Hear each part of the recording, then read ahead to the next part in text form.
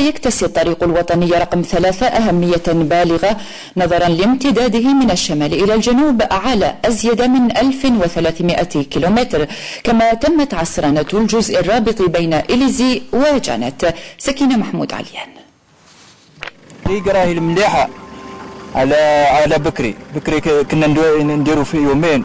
ودرك رحمة ربي. من جانت نديروا خمس سوايع. ما شاء الله. يرو ديغا سجانت آه، إن كان كوف هضان السين هضان وادي ما يقصابا دماغ إن كان خمس سوايع عندنا خمس سوايع عندنا وض جانت. الحمد لله يا ربي. الحمد لله. الله ينصر الدولة نتاعنا. لم يعد الطريق الوطني رقم ثلاثة الرابط بين إليزي وجانيت هاجسا أمام مستعمليه بعد إعادة عصرنة جزء هام منه.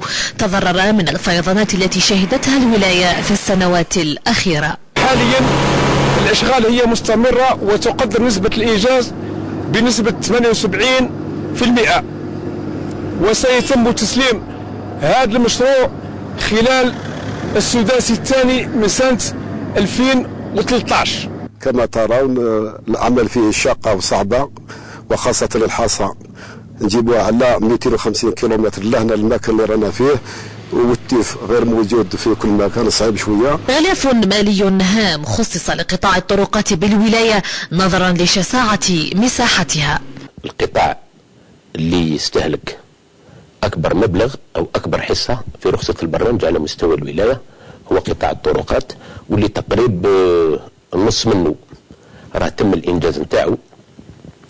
وما يقارب 600 700 كيلومتر تاع تهيئة المسالك. راهي في طور الانطلاق والبقية راهي في الدراسة أو في عملية المناقصة. هذه الشبكة الاستراتيجية تسمح بالوصول إلى المناطق الحدودية وفك العدوان